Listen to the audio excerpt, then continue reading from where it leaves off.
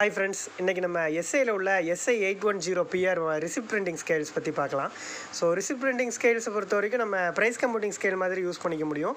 பிரிண்டிங்க்கு நம்ம ரிசிப்ட் கொடுக்கறதுக்காக. ஸோ இதில் சுவிட்ச் கீழே இருக்குது இந்த சைடு கீபோர்டு வேணும்னா நம்ம இதில் ஆட் பண்ணிக்கலாம். கீபோர்டு அப்புறம் ஸ்கேனரு பார்கோட் ஸ்கேனர் இது ரெண்டுமே நம்ம இதில் ஆட் பண்ணிக்க முடியும். ஸோ இது மாடல் மாடல் நம்பரில் வந்து version fifty five point two த்ரீல உள்ளது. ஸோ இப்போ இதுதான் மாடல் ஸோ நான் ஆல்ரெடி இதில் கொஞ்சம் பிஎல்யூ நம்ம ஆட் பண்ணி வச்சுருக்கிறேன்.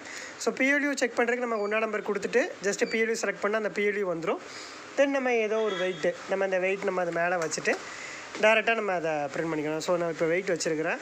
ஒன் சிக்ஸ்டி ஃபைவ் கேஜி இருக்குது ஸோ நம்ம பிரிண்டிங்க்கு இதை கொடுத்தோம்னா ஆட்டோமேட்டிக்காக நம்மளுக்கு பிரிண்ட் வந்துடும் ஸோ இப்போ இந்த மாதிரி வந்துடும் இதுதான் நம்மளோட ரிசிப்ட் பிரிண்டிங் ஸ்கேலோட ஃபெசிலிட்டிஸ் ஸோ இப்போ இதில் நம்ம வந்து செட்டிங்ஸ் அதாவது பிஎல்யூ இதெல்லாம் எப்படி ஆட் பண்ணுறதுங்க பார்ப்போம். ஸோ பிஎல்யூ போகிறோம் ஸோ பிஎல்யூவில் வந்து மொதல் ஆப்ஷன் வந்து நம்மளுக்கு வந்து ஸ்கேல் இருக்குது. அடுத்து கம்யூனிகேஷன் ரிப்போர்ட்ஸ் இதில் வந்து நம்ம என்ன பண்ணுறோம் அப்படின்னா ப்ரோக்ராமிங் இதில் தான் நம்மளோட இது இருக்கும். ஸோ இதில் நம்ம செலக்ட் பண்ணுறோம் ஸோ இதில் வந்து நம்மளுக்கு பிஎல்யூ பை நேம் ஃபஸ்ட்டு இருக்குது. ஸோ இந்த பிஎல்யூ பை ந PLU by number PLU by name so இதில் நம்ம பிஎல்யூ பை நம்பர் கொடுத்துட்டு செலக்ட் கொடுக்குறோம். ஸோ இதில் வந்து நம்ம எக்ஸிஸ்டிங் அடித்த எல்லா ப்ராடக்ட்டுமே இதில் நம்மளுக்கு காட்டும். எந்தெந்த ப்ராடக்ட் அப்படிங்கிறது. ஸோ நம்ம இப்போ இதில் ஏதாவது ஒன்று எடிட் பண்ணணும் அப்படின்னா நம்ம டேரெக்டாக அதில் போய் எடிட் பண்ணிக்கலாம். ஸோ இப்போ நான் ஒரு ப்ராடக்ட் நான் எடிட் பண்ணுறேன்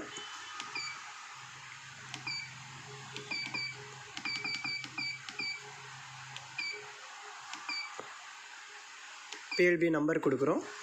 ஸோ இதில் ஒரு ப்ராடக்ட் எடிட் பண்ணுறதுக்கு என்ன பண்ணுறோம்னா இந்த லாஸ்ட் பட்டன் இந்த இருக்குது இதை கிளிக் பண்ணோன்னா அந்த ப்ராடக்ட் பற்றின எடிட்டான்னு கேட்கும். ஸோ நம்ம எடிட் கொடுக்குறோம். ஸோ இதில் வந்து ஃபஸ்ட்டு பிஎல்யூ நம்பரு அடுத்தக்கில் பிஎல்யூ நே நேமு பிஎல்யூ கோடு ஸோ இது எல்லாமே வந்துடும் இதில் பிஎல்யூ ப்ரைஸ் இதை நம்ம ப்ரைஸ் மாற்றணும் அப்படின்னா இதில் செலக்ட் பண்ணிட்டு ஸோ என்ன ப்ரைஸோ அந்த ப்ரைஸை நம்ம அப்படியே அடிச்சுக்க வேண்டியது தான் ப்ரைஸ் நம்ம அடிச்சுட்டு ஸோ தென் என்டர் கொடுத்துட்டோம்னா நம்மளுக்கு ப்ரைஸ் வந்துடும் ஸோ இதில் இது போக ப்ரைஸில் குரூப்பு பார்கோட் லிங்க்கு இதெல்லாமே இருக்கும். நம்ம பார்கோட் ஆட் பண்ண போகிறோம்னா அது எல்லாமே ஆட் பண்ணிக்க வேண்டியதான் ஸோ இவ்வளோ தான் ப்ரைஸ் ஆட் பண்ணுறது இதில் இவ்வளோ தான் கடைசியாக சேவ் இருக்கும்.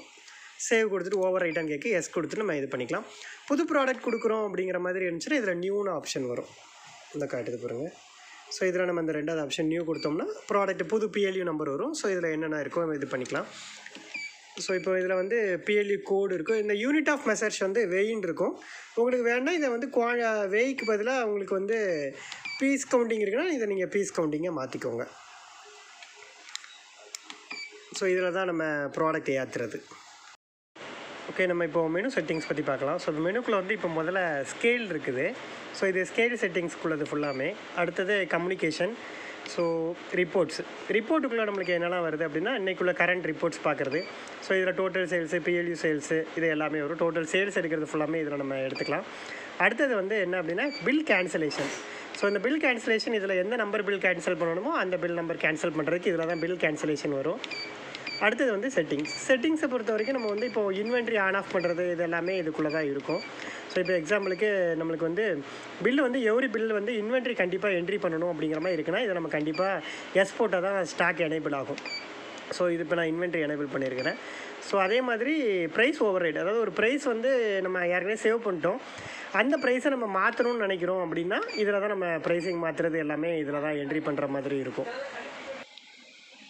இப்போ நான் ஒரு ப்ராடக்ட் பில் அடிக்கிறேன். ஸோ இப்போ நான் ஜஸ்ட் ஒரு ப்ராடக்ட் வைக்கிறேன். அடிச்சுட்டு நான் இப்போ ஒரு ஜஸ்ட் ஒரு ப்ராடக்ட் கொடுத்துட்டு அந்த பிஎல் செலக்ட் பண்ணுறேன் இப்போ நான் பிரிண்ட் கொடுத்தோம்னா ஸ்டாக் நாட் தேர் வரும். ஏன்னா நம்ம இப்போ வந்து ஸ்டாக்கு ஏற்றலை ஸோ இப்போ ஸ்டாக் ஏற்றுறதுக்கு நம்ம என்ன பண்ணுறோம் அப்படின்னா மெனு போகிறோம் அதில் போயிட்டு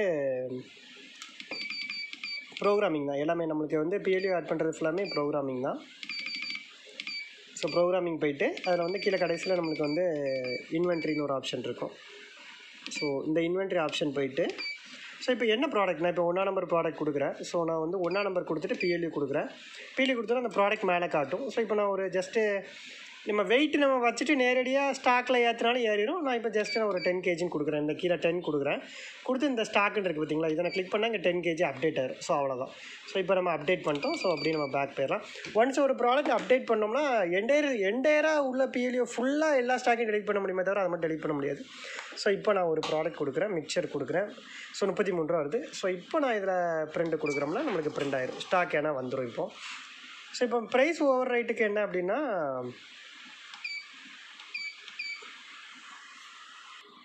இப்போ பிஎல்யூ ப்ரைஸில் வந்து நான் இப்போ ஓவர் ரைட் பண்ணுறேன் ஸோ அதுக்கு முன்னாடி நம்ம செட்டிங்ஸில் வந்து அது எனேபிளில் இருக்கான்னு பார்த்துக்கோங்க.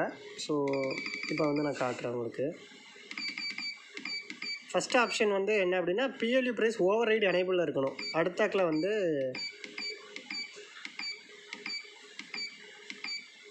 பிஎல்யூ யூனிட் ப்ரைஸ் அப்டேட் இது ரெண்டுமே வந்து யூனிட் ப்ரைஸ் அப்டேட் பண்ண முடியுமாங்கிறது ரெண்டு எனேபிளாக இருக்கான்னு பார்த்துக்கோங்க.